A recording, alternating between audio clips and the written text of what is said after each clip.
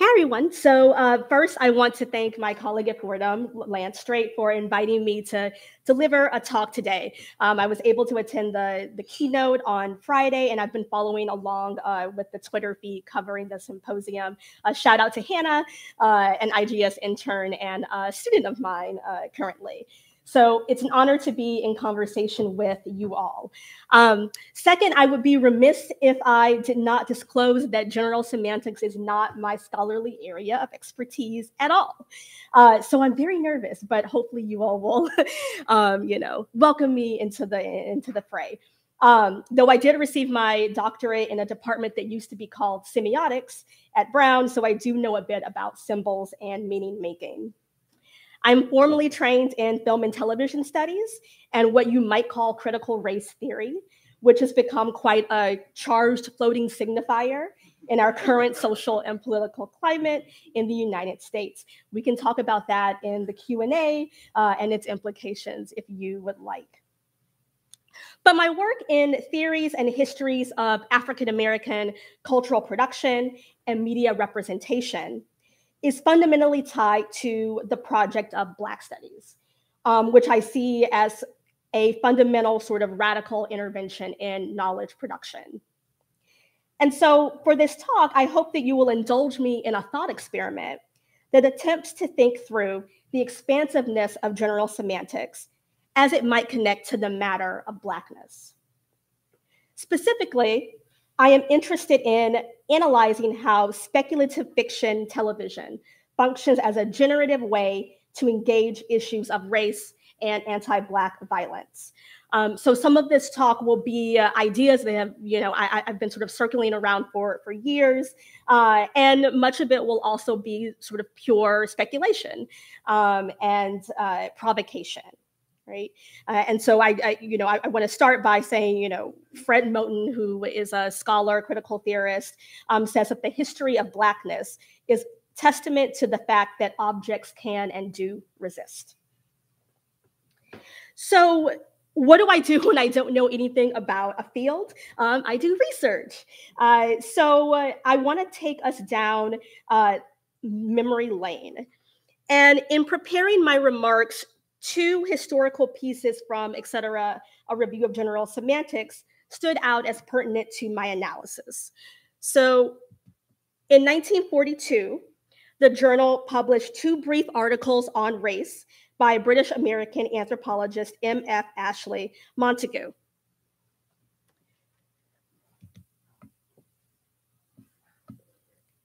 And the um, I'll get to the second piece in uh, in a bit. But what I want to do uh, is sort of go through Montagu's piece, um, which I think is really fascinating as a you know historical document. Um, he critiques the anthropological idea of race using the metaphor of an indigestible omelet. Um, I will I will read. Uh, the process of averaging the characters of a given group, knocking the individuals together, giving them a good stirring, and then serving the resulting omelet as a race is essentially the anthropological process of race making. It may be good cooking, but it is not science, since it serves to confuse rather than to clarify. When an omelet is done, it has a fairly uniform character, though the ingredients which have gone into its making may have been variable. This is what the anthropological conception of race is. It is an omelet which corresponds to nothing in nature. It is an indigestible dish conjured into being by an anthropological chef from a number of ingredients which are extremely variable in the characters which they present. The omelet called race has no existence outside the statistical frying pan in which it has been reduced by the heat of the anthropological imagination. So these are very strong, strong metaphorical words. Um, later, uh, he concludes, you know, again, and really sort of indicting the field of anthropology um, and their conception of race that is fundamentally artificial, right? Um, that it does not agree with the facts, that it leads to confusion and the perpetuation of error, and finally, that for all these reasons it is meaningless. Or rather, more accurately, such meaning as it possesses is false. And I think that last sort of clause is really is really important. Being so weighed down with false meaning, it were better that the term were dropped altogether than that any attempt should be made um, to give it a new meaning. Right? So Montagu, who gave the very first Alfred Korzybski Memorial Lecture, rightfully refutes the notion of race as inherently biological. He argues that race as a concept um, later uh, in the piece can be replaced by the concept of ethnicity, and ultimately that the term should be discarded entirely in favor of something like caste. And clearly, we did not do away with the concept of race, um, but only amplified it in both unproductive and productive ways. Herman Gray, sociologist, um, provides a useful, somewhat Foucauldian definition of race as a technique of power. He states, quote, we might say that race is the expression of the mutually constitutive effects of media, science, the state, and economic markets. The media, the press, commercial broadcast systems, digital platforms, and digital social networks are scenes where social relations, representations, understandings, and feelings about racial differences among us circulate. End quote. The status of media and mediation with respect to race has always been fraught. Montagu, in particular, telegraphed a kind of resistance to stereotype analysis, right? And that kind of omelet, uh, the sort of critique of the omelet of race. In current discussions of race and representation, it is difficult but necessary to move beyond the stereotype. And I tell this to my students every single day, right? When they want to immediately focus on stereotype and by extension, what we denote in film and TV studies as so called positive and negative imagery, which ends up flattening one's object of study. It does not allow for the polysemic ways in which audiences encounter representations and understand their messages. Approaches to representations of Blackness in particular have had a pesky tendency to not only rely on the fixity of the image as stereotype, but also sort of really gestures towards this kind of um, desire for some kind of indexical realism, right? Um, which restricts uh, possible ways to engage and read media depictions. Montagu's pieces uh, became an early examination of race as a social construct. Um, and his emphasis on language extends 27 years later to another piece that I want to show from memory lane uh, from the journal. Uh, What's in a Name? Negro versus African American versus Black. And so uh, this piece uh, was written by uh, Lerone Bennett Jr., uh, who is was a historian. It appeared in the journal in 1969. Bennett, as I said, was a historian of African American life and race relations. He served as an executive editor of Ebony magazine starting in 1958 and worked there into his 19 uh, into his 80s. And his passion for exploring Black experience through words remained until his death in 2018. In the piece for the journal, he outlines, quote, for Americans of African descent have been arguing about names ever since they were forcibly transported from Africa by Europeans. The article effectively highlights the longstanding debate about how Black folks identify and self fashion themselves through language across social movements and cultural changes. Fascinatingly, Bennett recounts an exchange in 1928 in the NAACP's magazine, The Crisis, between a reader and the magazine's creator, W.E.B. Du Bois. And so I want to show this exchange right? Um, so this is Roland Barton, reader. Um, Dear Sir, I am only a high school student in my sophomore year and have not the understanding of you college educated men already coming out. Um, it seems to me that since the crisis is the official organ of the National Association for the Advancement of Colored People, which stand for equality for all Americans, why would it designate and segregate us as Negroes and not as Americans? The most piercing thing that hurts me in this February crisis, which forced me to write, was the notice that called the natives of Africa Negroes instead of calling them Africans or natives. The word Negro, or the N word, is a white man's word to make us feel inferior. I hope to be a worker for my race. That is why I wrote this letter. I hope that by the time I become a man, that this word Negro will be abolished. Right? So here's Du Bois's response. Roland, do not at the outset of your career make the all too common error of mistaking names for things.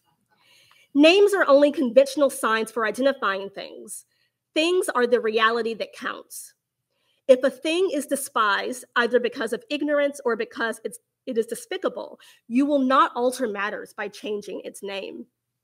If men despise Negroes, they will not despise them less if Negroes are called colored or Afro Americans. Moreover, you cannot change the name of a thing at will. Names are not merely matters of thought and reason, they are growths and habits. As long as the majority of men mean black or brown folk when they say Negro, so long will Negro be the name of folks brown and black. And neither anger nor wailing nor tears can or will change the name until the name habit changes. Your will, and later he says, he, he wrote a very long um, uh, response. Your real work, my dear young man, does not lie with names. It is not a matter of changing them, losing them, or forgetting them. Names are nothing but little guideposts along the way. The way would be there, and just as hard and just as long if there were no guideposts, but not quite as easily followed. Your real work as a Negro lies in two directions. First, to let the world know what there is fine and genuine about the Negro race. And secondly, to see that there is nothing about that race which is worth contempt. Your contempt, my contempt, or the contempt of the wide, wide world. Get this then, Roland, and get it straight, even if it pierces your soul. A Negro by any other name would be just as black and just as white, just as ashamed of himself and just as ashamed by others as today. It is not the name, it's the thing that counts. Come on, kid, let's go get the thing.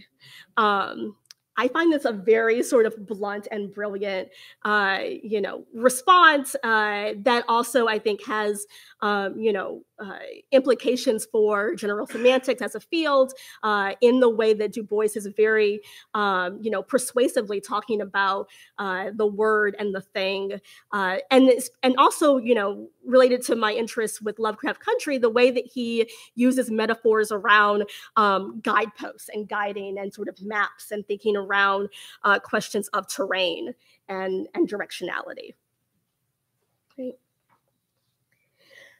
So, wrestling with terminology at such a tumultuous political time, Bennett asserts that, quote, millions of Americans of African descent are going to have to search their souls and their internal maps, end quote. In the course of movement, one will have to, quote, choose a name in the process of choosing his being. He ends by asking the questions Who are you? What is your name? It is in this spirit of inquiry that I want to turn to media arts in an examination of HBO's 2020 program Lovecraft Country. Created by Misha Green, the fantasy horror series adapts the novel of the same name written by Matt Ruff. It follows Atticus Tick Freeman's journey across geographies to search for his missing father. And in the process, he unearths a spectacular and supernatural secret about his familial lineage. The TV series signifies on HP Lovecraftian language to create and communicate a Black life world, both visually and sonically. By signify, I mean the Black cultural practice of playing with language and expectation articulated in Henry Louis Gates Jr. Classic late 1980s text, The Signifying Monkey, a theory of African American literary criticism. This is an important rhetorical strategy for Black expression emerging from African traditions of storytelling, right? And so, you know, what one thing I will say about uh, Lovecraft Country at the outset, it, you know, is that when I say that it's signifying on Love, Lovecraftian language, um, that's recognizing that Lovecraft, you know, Lovecraft's own virulent racism, anti-Semitism, and, and xenophobia. Um, he, you know, has said things like, quote, the Negro is fundamentally the biological inferior of all white and even Mongolian races. Um, he wrote a 1912 poem uh, called On the Creation of the N-Words, uh, where Black people reside in liminal space between man and beast. And so, you know, the the program, uh, or rather Ruff, uh, the white author attempts to contend with Lovecraft's white supremacy uh, through centering Black experience. But it is Misha Green, uh, who is a Black creative, uh, who also um, was at the helm of the uh, short lived show Underground, as well as Jordan Peele as executive producer and J.J. Abrams, um, who televisually depict uh, the, the narrative set in Jim Crow America. And it has a kind of different vitality um, to it. So Lovecraft Country is an example of what I call in my larger work Black Lives Matter Television or BLM TV. For almost 10 years as both a scholar and spectator, I have been interested in how the medium of television and its claims to immediacy and relevance navigates the current climate of anti-Black violence. Um, and I, you know, television studies has very much uh, emphasized the role of liveness uh, this idea that television is going on uh, versus uh, other mediums like film or photography, uh, which is really focused on the that has been, right? And so television um, has a sort of claim to a particular sort of immediacy um, that it likes to showcase all the time, as we see in, in news. The murder of George Floyd in Minneapolis, Minnesota on May 25th, uh, 2020 and the global protests that summer solidified television's still lucrative role in creating and disseminating messages around social and political unrest. As I asked that summer, what do we want and need from television right now? What are the limitations and possibilities of the medium in addressing and redressing anti Black violence? As a commercial medium, TV has seemed to shift from the discourse of promoting racial relevance to the practicing an active reckoning with race at the level of the industry text and audience.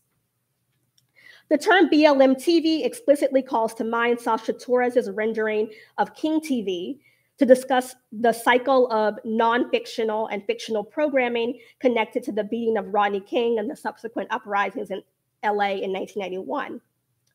These texts, from news coverage to drama series, work together to construct ideas around TV's mediation of the racial politics of law and order during the early 1990s.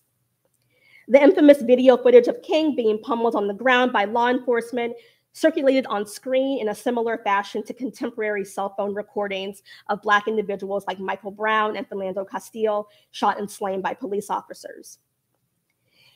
In my TV race and civil rights undergraduate class, we discussed the resonances between journalistic accounts of rebellion connected to racial violence from the early 90s to our current demonstrations 30 years later. So in the rest, I want to analyze not news reporting, but the broader formation and significance of BLM TV. The cycle begins in 2013, the year that the hashtag Black Lives Matter became a rallying cry in response to the acquittal of George Zimmerman for the killing of Trayvon Martin. Since then, TV programs have remarked on this history of violence in explicit and implicit ways. It is important to note that not every program that centers Black people today can and should be considered Black Lives Matter TV. Rather, BLM TV is an amalgamation of non narrative and narrative approaches to interrogating structural racism and anti Blackness on and off screen. And so, some characteristics of Black Lives um, Black Lives Matter TV that I've sort of seen um, is that the messages that are conveyed in the most generative of such programs are not solely focused on grappling with the material and psychic violence of anti-Black racism. Rather, they have the tendency to combine expressions of trauma and joy, striving to depict the complexity and fullness of Black experience. In this way, there's a degree of commitment to the goal of cultivating what Tina Campt has described as a Black gaze. By this, she means not just a Black perspective, but an attentiveness to, quote, a politics of looking with, through, and alongside another, a gaze that requires effort and exertion. And finally, I suggest that BLM TV is fundamentally concerned with the idea of reparations. Previously, I have written about televisual reparations as an ontological question for the medium that has aesthetic, political, and ethical implications with respect to racial Blackness. Reparations in this way underscore how Blackness comes to be televisually transmitted to audiences through the realm of spirits. Spirits that come to resonate with viewers and call forth engagement with and response to representations of Black mortality in the afterlife of slavery. Thus, TV can bring out the dead as a means of redressing violence associated with America's dark past. And I can talk more about reparations again in the Q&A. I think it's another term, you know, rhetorically that has um, the way that we understand it is is quite different now, and it has become, you know, a lot more popular, uh, especially after Ta-Nehisi Coates's um, award-winning essay, "The Case for Reparations," uh, came out. And so, Lovecraft Country's uh, tagline is "Take back your legacy." right? Um, and so I think this is very much in line with this kind of reparative, um, th this reparative gesture. Um, how much time do I have? Two minutes. Okay. So I actually will try to show um, this and leave it here. Um, this is a, a, clip from the first episode of the series. Uh, the main character, um, Tick, uh, and his uncle George and his uh, friend Letty are on a road trip to um, Arkham, Massachusetts to locate Tick's missing father. Um, I'll try to see if we can show this. First time. Oh, it's only and, playing uh, here. The position of a kind of Jeremiah. For example, I don't disagree with Mr. Burford that the um, the inequality suffered by the American Negro population of the United States has hindered the American dream. Indeed, it has. I quarrel with some other things he has said. The other deeper element of a certain awkwardness I feel has to do with um, it has to do with one's point of view. I have to put it that way. One's uh, one's sense, one's system of reality. It would seem to me that the proposition before the House, I put it that way, is the American dream at the expense of the American Negro, or the American dream is at the expense of the American Negro, is a question hideously loaded, and that one's response to that question, or one's reaction to that question, has to depend on an effect on where you find yourself in the world, what your sense of reality is, what your system of reality is. That is, it depends on assumptions which we hold so deeply as to be scarcely aware of them. A white South African, or a Mississippi sharecropper, or a Mississippi sheriff, or a Frenchman driven out of Algeria, all have at bottom a system of reality which compels them to, for example, in the case of the French exile from Algeria, to defend French reasons for having ruled Algeria Mississippi or the Alabama sheriff who really does believe when he's facing a Negro boy or girl that this woman, this man, this child must be insane to attack the system to which he owes his entire identity. And on the other hand, there's a diner called Lydia's. I got a tip on me. Okay. Won't take us too far, of course, to have lunch there. Thank what do you say to a detour? Okay, I'm going to pause it there. Um, notice if you can see the the map that George is is is right there. Um, and so uh, obviously that was James Baldwin. Uh, it was uh, his uh, speech uh, during a uh, debate with conservative William F. Buckley. the speech was called The American Dream and the American Negro. Um, and it functions as the non-diegetic narrative to the montage sequence. Baldwin's signature voice is juxtaposed with scenes from Americana under Jim Crow segregation. Um, and so again, I, I'm going to end here, but I just would like to, you know, offer up, you know, issues around if you've seen Lovecraft Country, uh, you know, it's very much they're going through this kind of inhospitable terrain. Uh, and so they use a guidebook. George is creating this guidebook, which is supposed to be a kind of green book, um, you know, to use by Black travelers, right, to help them uh, navigate through uh, this kind of terror psychology, right? This, this sort of environment that has to be navigated differentially with respect to race. Um, and so, you know, I'm interested in that kind of mapping, uh, but also in the ways in which Blackness comes to sort of emerge, right? Um, through through the sort of sonicscape of the entire series, um, as well as the visuals. And then um, finally, I would be remiss. Um, or far be it for me to argue with Neil Postman about the merits or lack thereof of television, right? But what if TV could activate um, act affects, provoke sensorial impulses uh, and emotions, uh, you know, what if TV could point us to an elsewhere, a fugitive kind of being in the world? What if TV could fly? Right. And so this is a Random Acts of Flyness. I highly recommend it. Um, it's uh, an HBO series by an experimental filmmaker, Terence Nass, Nance. Um, and the tagline is Shift Consciousness, right? Um, it's a kind of public access uh, uh, meets variety sketch uh, program. And uh, I think it sort of, again, points to that kind of speculative uh, future that we might think as really generative for the medium. So, yeah. Thank you.